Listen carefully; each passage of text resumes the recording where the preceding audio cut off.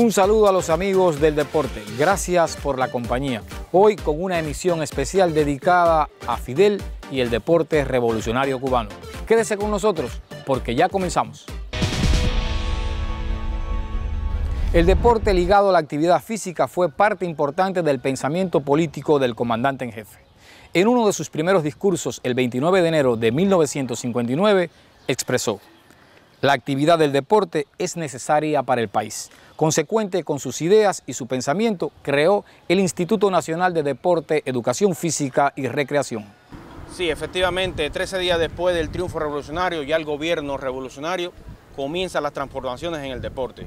Se crea el 14 de enero del 59 la Dirección General de Deporte y dos años después, el 23 de febrero de 1961, fue por dictamen del Consejo de Ministros, se crea el Instituto Nacional de Deporte, Educación Física y Recreación, que en su esencia eh, promueve la actividad física y deportiva en toda la población.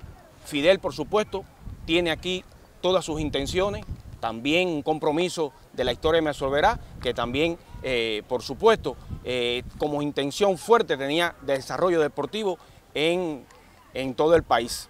Después de, este, de esta organización, pues comienzan eh, algunas importantes transformaciones en el deporte. Ya en 1963 se inaugura la primera edición de los Juegos Escolares, en el 65 se crea la industria deportiva, en el 66 también se crea el Instituto de Medicina Deportiva y comienza el desarrollo deportivo de Cuba y su inclusión en la arena internacional. Para todo es sabido de, que el pensamiento de Fidel, eh, y lo, bien lo manifestó en, en muchos escenarios, era llevar el deporte hasta lo más alto, al lugar que, necesariamente para Cuba era importante que el deporte estuviera ustedes conocen por, todo lo que hemos visto y las vivencias del comandante, eh, cuántos encuentros, cuántas reuniones, cuántos intercambios ha tenido con el movimiento deportivo cubano. Realmente estamos hablando del primer deportista cubano, estamos hablando del atleta mayor. Hoy estamos agradecidos de toda la obra que Fidel le ha puesto al deporte. Fidel no solo fue el primer promotor del deporte cubano, sino un practicante más. Es por ello que podíamos verlo intentando anotar una canasta, lanzando la primera bola en un juego de béisbol o sentado frente a un tablero de ajedrez, concentrado como el mejor de los trevejistas. Es por eso que en cada medalla, en cada triunfo del deporte cubano, está el comandante en jefe. Veamos las opiniones de atletas destacados de la provincia de Granma. Bueno, esta foto significa para mí y eh, un gran éxito, un gran honor, porque en esta foto él nos decía que había que ganar el juego este y que, que eh, Alarcón le dijo que preparen la trocha, que cierren la trocha y preparen el cocuyé, porque este juego lo iba a ganar él. Y entonces por ese motivo es para mí un honor muy grande tener esta foto. Él fue preocupado en todos los sentidos por el deporte y por la salud de todos nosotros, ya que, que siempre estaba arriba de nosotros y de la Comisión Nacional para resolver los problemas que tenía el deporte cubano. Y por eso es que, que el comandante siempre estaba eh, presto a, todo, a todo sentido del deporte. Agustín me contó en muchas ocasiones que tuvo la oportunidad de reunirse con, con, el comandante. Por ejemplo, cuando iban a salir a algún evento internacional y él les pedía que ganaran o por lo menos que vinieran con dignidad, Agustín me contaba que les daba la mano a cada uno. Y Agustín siempre fue de apretar muy duro la mano y Agustín sentía a veces, porque la mano de Fidel era muy fina, y decía, después le daba pena, y, pero siempre, todas las veces que, hubo este encuentro, Agustín olvidaba que la mano de Fidel era fina y que la de él era muy rústica y siempre lo apretaba. Fidel nunca decía nada.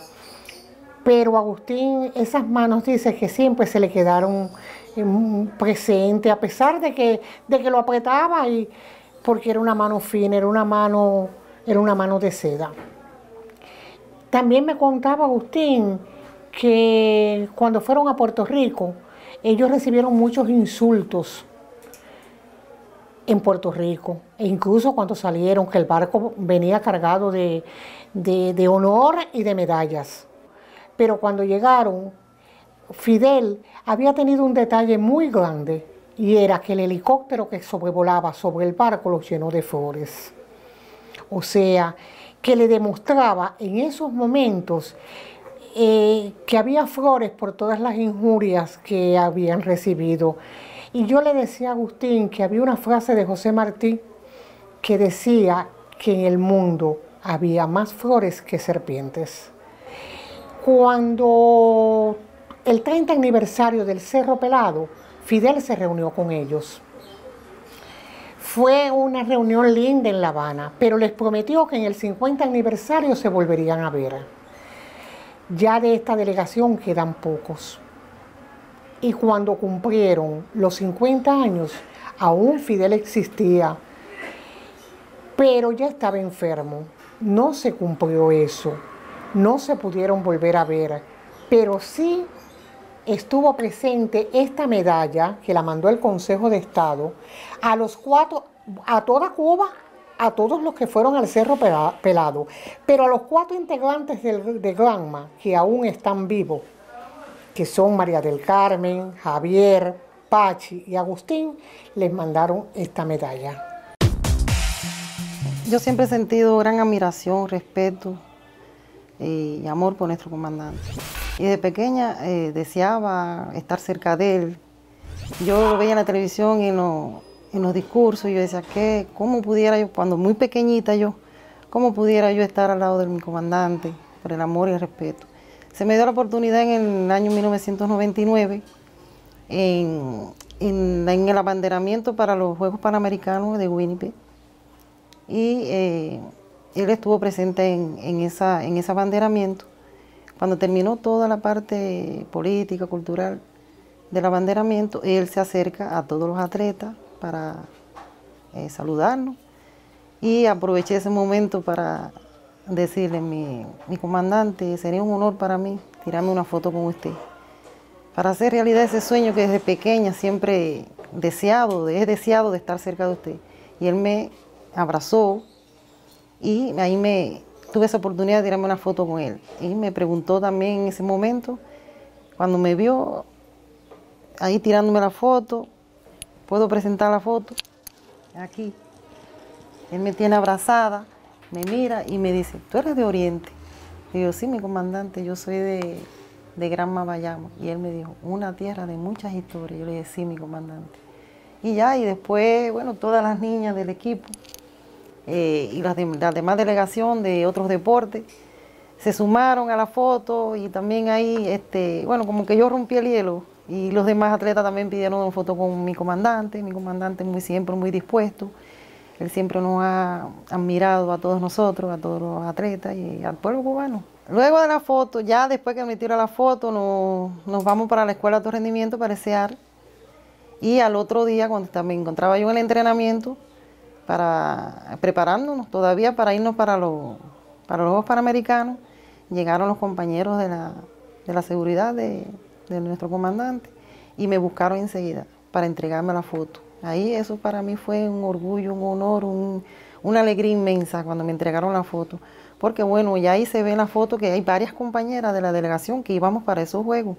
Sin embargo, me buscaron a mí para entregarme la foto. Y eso para mí es un momento histórico, eso para mí es, un orgullo, un honor que me hayan buscado y me hayan entregado esa foto, que es la que tengo de recuerdo, que esa hasta la muerte la tendré, hasta que yo a la muerte la tendré siempre en mi, en recuerdo. Bueno, luego tuve la oportunidad de que también nuestro comandante nos envió un mensaje para los, los Juegos Olímpicos de Sydney, Australia, en el año 2000 Ahí nuestro comandante, a toda la delegación, le, nos envió un mensaje de que no era tan importante en, esa, en esa contienda lo que es la, una medalla de oro, plata o bronce. Para él lo que más le interesaba era que toda la delegación eh, se subiera en el podio más alto con la medalla de la dignidad. Y así toda la delegación cumplió con, con lo que nos dijo nuestro comandante. Toda la delegación regresó con la medalla de la dignidad que es la que, que guardo yo también con mucho orgullo, con mucho honor. Y el recuerdo de mi comandante, que siempre está en nosotros, porque nuestro comandante es inmortal. Su obra con el deporte, en la revolución, va a trascender la muerte. Toda su obra será recordada, estará, siempre está en nosotros los atletas, en nuestro pueblo. Fidel siempre se preocupó por competiciones limpias, alejadas de sustancias nocivas y de dopaje. Es por eso que decide crear un laboratorio para proteger a nuestro deporte de las bajezas y trampas tan presentes en el escenario deportivo. Una vez concluido el recorrido por las áreas del primer laboratorio cubano antidoping, nuestro máximo líder resumió la tribuna abierta que contó con la asistencia de campeones olímpicos y atletas cubanos de alto rendimiento, así como estudiantes de la Escuela Internacional de Deportes. En la tribuna hicieron uso de la palabra el doctor Mario Granda y el contratista de la obra Juan Carlos Ruz. Además, se entregaron reconocimientos a trabajadores destacados que hicieron posible que exactamente un año y medio después de anunciar al comandante en jefe su propósito de construir un laboratorio antidoping en Cuba, este se hiciera una preciosa realidad. El primer laboratorio antidoping constituye ya otro éxito del deporte cubano, otro éxito de nuestra revolución en sus 40 años de vida. Julia Osendi, Sistema Informativo de la Televisión Cubana.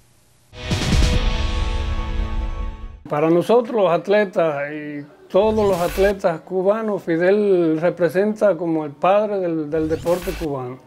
Y realmente le agradecemos infinitamente por todo el bien y por todo el apoyo que, le dio al deporte. Y por eso es que está el deporte en la élite prácticamente del mundo. ya se puede contar con Cuba desde hace mucho, gracias al triunfo de, la revolución y gracias a todo el apoyo que nos dio el comandante. Así llegamos al final de esta emisión especial dedicada al comandante jefe y el deporte. A nuestros invitados, gracias por la participación. Y a usted, amigo televidente, recuerde que no pretendemos marcar un récord, sino archivar un buen averaje. Hasta la próxima.